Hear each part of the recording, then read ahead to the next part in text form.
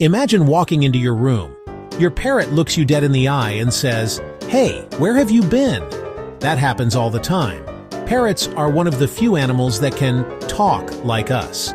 Today we dive into the unexpected secrets of why parrots talk. By the end, you'll never look at a parrot the same. Reason number five will shock you. They copy our voices, our laughs, even phone ringtones.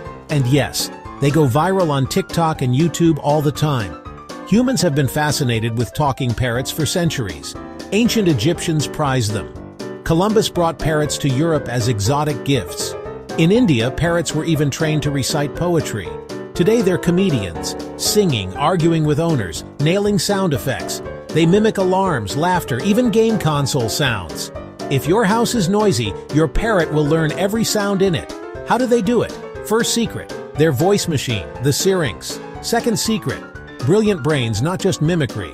Third secret, parrots are social. They treat you like flock. Syrinx, smart brains, social lives. We'll break each down fast, plus real stories. Alex, Einstein, and some surprising champions. Let's go. Parrots were symbols of luxury in ancient Egypt. In India, parrots trained to recite poetry entertained royalty. Columbus exported them to Europe as exotic gifts. Fast forward, parrots are internet stars for the same reason mimicry, and personality. They'll imitate anything that gets attention, and people love to share those moments. But the real how begins with the syrinx, their unique voice organ. It controls pitch, tone, and rhythm like a built-in synthesizer. That's why parrots can sound so much like us. They copy barking, alarms, microwaves, household sound bank. Living in a noisy home just gives them more material to learn. Next, how smart are they really? Some parrots, like Alex the African Grey, did more than mimic. He could name colors, numbers, shapes, and answer simple questions. Not just repeating, sometimes understanding. They're social animals. That changes everything about talking. Wild parrots have unique calls, like names, and they use them to bond. In a home, you become the flock, and they copy you to belong. Up next, do they really understand? Which species talk best and their funny talents? Stay with me. Reason 5 will surprise you. Secret 4. Do parrots really understand us? Short answer, sometimes. Most associate words with actions. Treat means food. Parrot vocalizes treat. But exceptional parrots, like Alex, used words to label concepts. Secret 5. Some species are champions at talking. African greys, the undisputed champions up to hundreds of words. Amazon parrots, loud clear voices, natural singers.